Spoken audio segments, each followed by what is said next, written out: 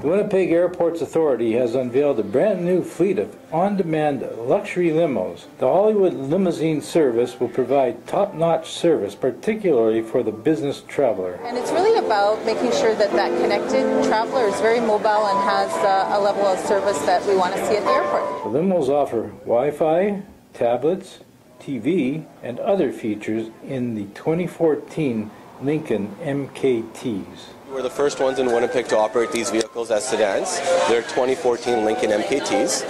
They're specially made for livery edition, and I think the public will really enjoy them. You can get a townhouse limo that seats four passengers to take you from the airport to downtown for a flat rate of $32. Or you can take a stretch limo that seats 10 for just $52. We are introducing all these new services, but we have not increased the price for the public. We're just doing this as a perk for them, an added value. Jim Bender, Winnipeg Sun.